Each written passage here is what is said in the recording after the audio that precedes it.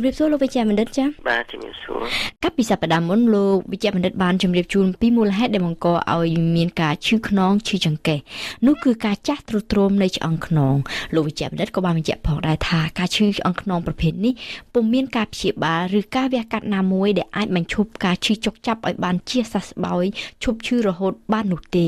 គឺមានតែការជួយថែរក្សាកុំឲ្យតែឆាប់ឈឺចាប់តែប៉ុណ្ណោះក្នុងន័យនេះតើយើងត្រូវធ្វើដូចម្តេចខ្លះដើម្បីថែទាំនិងរក្សាឆ្អឹងខ្នងរបស់យើងឲ្យវាសឹករិចរិលទៅតាមអាយុកាលកុំឲ្យវាទ្រុឌទ្រោមមុនអាយុនោះចា៎បាទវាមានកត្តាច្រើនយ៉ាងកត្តានោះសំខាន់ជាងគេ ទី1គឺយើងនិយាយអំពីទម្ងន់ខ្លួនរបស់មនុស្សយើងព្រោះធម្មតាឆ្អឹងខ្នងជាអ្នកត្រូវទម្ងន់ដូច្នេះបើសិនជាចង់និយាយថាមនុស្សពីរនាក់គាត់ម្នាក់ស្គមម្នាក់ធាត់អ្នកដែលស្គមនោះគឺក្រមានបញ្ហាឆ្អឹងខ្នងជាងអ្នកធាត់ ដូច្នេះបើនាងខ្ញុំសរុបសេចក្តីទៅបានន័យថាយើងមិនត្រូវឲ្យមានទម្ងន់ហួសពីទម្ងន់បាទកុំឲ្យមានទម្ងន់លើសជឹកពោះបាទទម្ងន់ដែលលើសពីកម្រិតធម្មតាចាចាហើយចុះចំណុចទី2ទី1បាទទី2គឺប្រយ័ត្នដងខ្លួនរបស់យើងគឺនៅលើកាយវិការប្រចាំថ្ងៃរបស់យើងកាយវិការប្រចាំថ្ងៃមាន2យ៉ាងទី1គឺការលើកដាក់របស់របរអីនោះយើងដឹងហើយកាលណាយើងលើកទម្ងន់ឧបមាថាយើងយួរកតាបមួយដែលមានទម្ងន់5គីឡូ ដូច្នេះឆ្អឹងខ្នងយើងគឺទទួលទម្ងន់បូកបន្ថែម5គីឡូប៉ុន្តែកតាបរវាងរបស់ដែលយើងយួរហើយនឹងស្ពាយគឺខុសគ្នាប្រហែលថាវាដូចជាកូនជីងថ្លឹងសាច់ជ្រូកអីចឹងនៅពេលណាយើងកូនជីងហ្នឹង1គីឡូដដែលប៉ុន្តែបើយើងបូតវាទៅខាងចុង គឺ1គីឡូហ្នឹងស្មើនឹង5 6គីឡូដូច្នេះចឹងបាននៅការយួររបស់មួយហើយនឹងស្ពាយនឹងខ្នងស្ពាយខ្នងវាធូរជាងប៉ុន្តែយ៉ាងណាក៏សិតតែទម្ងន់បន្ថែមទៅលើឆ្អឹងខ្នងហ្នឹងដូចជាបន្ថែមទៅលើទម្ងន់ខ្លួនយើងពីដំបូងនេះទី2តកតងទៅលើការអង្គុយការអោនយើងធ្វើម៉េចឲ្យរក្សាដងខ្លួនឲ្យត្រង់ដើម្បីឲ្យឆ្អឹងខ្នងហ្នឹងវានៅត្រង់ល្អកាលណាឆ្អឹងខ្នងនៅត្រង់ល្អវានឹងជៀសផុតពីការទ្រុឌទ្រោមបានច្រើនមែនទែន ព្រោះឆ្អឹងខ្នងវាអាចទប់ទម្ងន់ពីលើចុះក្រោមត្រង់ប៉ុន្តែវាអត់ទប់ទម្ងន់ដែលយើងកាច់ឆ្អឹងខ្នងបានទេឧទាហរណ៍ដូចយើងអង្គុយចោងហោងបោកក្អាវឧទាហរណ៍សាមញ្ញថាអង្គុយចោងហោងបោកក្អាវគឺយើងអង្គុយបោកមិនដែលបោក1នាទីទេគឺយើងអង្គុយបោកអាចយូរ5នាទី10នាទីអង្គុយបោកទៅតាមកៅអៅតិចវាច្រើនប៉ុន្តែសកម្មភាពអស់ហ្នឹងម្ដងវាមិនអីប៉ុន្តែវាប្រចាំថ្ងៃរាល់ខែរាល់ឆ្នាំយូរទៅវាទៅជាការសក្តិរិលនោះគៀបទៅលើឆ្អឹងខ្នងនឹងខ្លាំង យើងអោនអញ្ចឹងយើងឆ្អឹងខ្នងវាកាច់កណាកាច់វាមិនកម្លាំងសង្កត់លើក្រោមនោះវាកាច់ខ្លាំងឆ្អឹងខ្នងមិនអាចទប់មួយកម្លាំងនឹងបានទេបើបើយើងអង្គុយឲ្យត្រង់ឬក៏បោកកៅអៅឲ្យឈរទៅអីវាប្រសើរជាងបោកកៅអៅអង្គុយរបៀបមានរបៀបអង្គុយធ្វើម៉េចក៏ដោយអង្គុយក៏ដោយឈរក៏ដោយគេងក៏ដោយក្រោកពីគេងក៏ដោយគឺកាយវិការទាំងអស់ធ្វើម៉េចសូមរក្សាឆ្អឹងខ្នងឲ្យបានត្រង់ចុះបើក្នុងករណីដែលយើងត្រូវអង្គុយ ធ្វើការជាប់រហូតក្នុងមួយថ្ងៃវិញតើគួរធ្វើដូចម្តេចដែរចា៎ប្រការដែលល្អបំផុតគឺយើងត្រូវមានពេលសម្រាប់យ៉ាង5នាទីអីក្នុងរយៈពេល1ម៉ោងឬក៏អីចឹង5នាទីយើងអាចក្រោកដើរអីពាក្យសាមញ្ញយើងថាសម្រួលអរិយាប័ត្រដើម្បីឲ្យទៅឲ្យសាច់ដុំនឹងវាប្រទាញមកវិញសម្រួលអរិយាប័ត្រឆ្អឹងខ្នងយើងឲ្យបានស្រួលមកវិញកុំឲ្យវានៅគៀបនៅនឹងមកកន្លែងរហូតចាចាហើយអំបញ្ញមិញលោកវិជ្ជាមានប្រសាសន៍ថាពេលងើបពីគេនោះត្រូវងើបឲ្យ ឲ្យរក្សាឆ្អឹងខ្នងឲ្យត្រង់បើយើងគេងគេងនៅលើពូកទុនទុនហ្នឹងធ្វើឲ្យរត់តែឆាប់ខូចឆ្អឹងខ្នងជាងអ្នកដែលគេងនៅលើក្រែរនៀបរឹងរឹងតើការគិតនេះជាការត្រឹមត្រូវទេចា៎បាទមិនវាត្រឹមត្រូវច្រើនប៉ុន្តែលក្ខណៈហ្នឹងសំខាន់ទៅលើប្រភេទពូកទេអានេះវាមកចំណាយដែរព្រោះថារយៈពេលដែលយើងគេងគឺ6 7ម៉ោងនៅនៅលើក្រែហ្នឹងឯងជាទូទៅយើងនិយាយថាមនុស្សពេញវ័យគឺត្រូវការសម្រាក គេងហ្នឹងគឺ8ម៉ោងក្នុងមួយថ្ងៃការគេងនេះគឺអរិយាប័ត្រគឺយើងនៅជាប់រហូតដូច្នេះបើសិនជាពូករបស់យើងវាទន់ពេកវាធ្វើឲ្យឆ្អឹងខ្នងកាច់ឬក៏យើងគេងរឹងគេងអីក៏មិនជាប្រការដែលល្អដែរសម្រាប់ឆ្អឹងខ្នងព្រោះវាធ្វើឲ្យឆ្អឹងខ្នងយើងកាច់ដូច្នេះ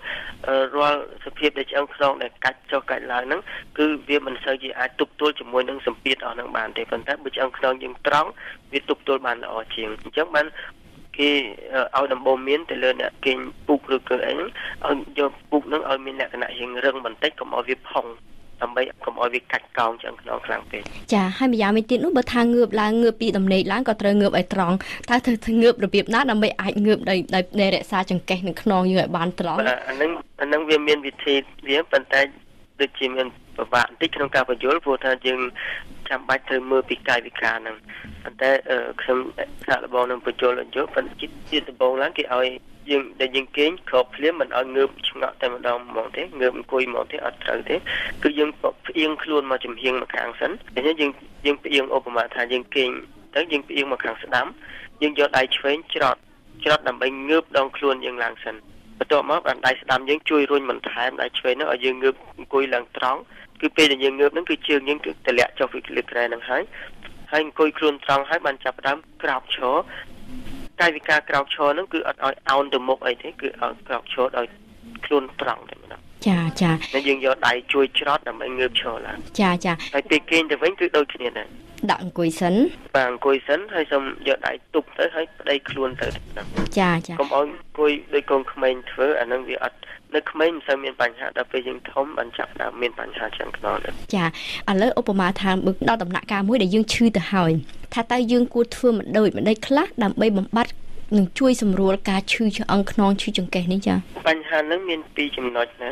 ទី1យើងថាយើងឈឺទៅហើយក៏ដោយប៉ុន្តែ របស់ហ្នឹងគឺឆ្អឹងខ្នងហ្នឹងគឺ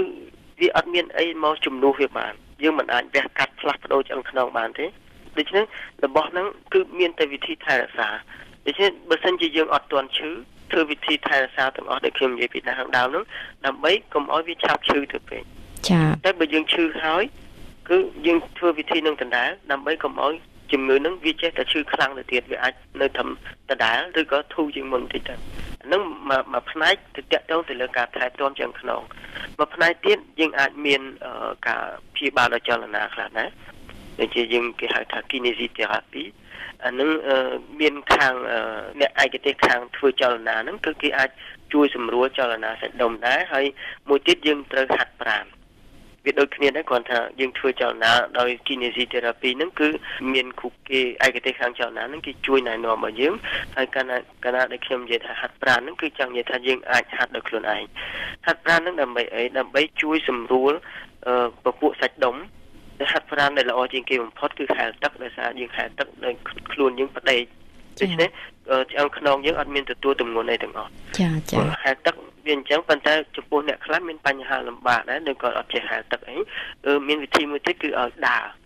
ដើរឲ្យចង់និយាយថាដើរញាប់បន្តិចណាចាចាមានគាត់មានមានដើរតាមយឺតធម្មតាដែលយើងដើរលេងមើលទេសភាពអីផ្សេងអាមួយដើររបៀបក្នុងន័យហាត់ប្រាណមានថាយើងដើរឲ្យញាប់បន្តិចចាការដើរហ្នឹងគឺជាវិធីសាស្ត្រទី2ល្អបន្ទាប់ពីហែទឹកហ្នឹងហើយគឺយើងដើរដើម្បីឲ្យសាច់ដុំនៅខាងក្រោយសាច់ដុំដែលនៅ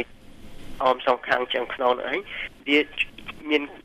វាកាន់តែរឹងមាំឡើងហើយវាជួយរឹបឆ្អឹងខ្នងហ្នឹងឲ្យមានសភាពល្អប្រសើរឡើងនេះវិធីហាត់ប្រាណពីរហ្នឹងគឺជួយអាចជួយសម្រួលឲ្យយើងបានធូរដែរប៉ុន្តែក្នុងការទាំងអស់ហ្នឹងគឺយើងមិនសង្ឃឹមថាយើងហាត់ប្រាណមួយថ្ងៃឬមួយអាទិត្យ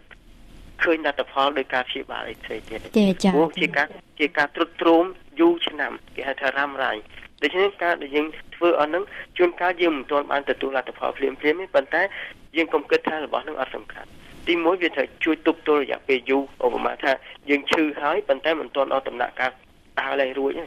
ចាចាយើងបើយើងថែទាំទៅយើងនៅបានយូរទៅទៀតប៉ុន្តែបើយើងមិនថែប្រឹងតែធ្វើបន្តទៀត ពេលណាមួយគឺយើងក្រោកទៅលេងរួចអង្គុយទៅលេងរួចអាហ្នឹងពេលហ្នឹងយើងញ៉ាំខ្លះចាអរគុណលោកវិជ្ជបណ្ឌិតសូមបញ្ជាក់ថាលោកវិជ្ជបណ្ឌិតវូសុភរស្មី គឺជា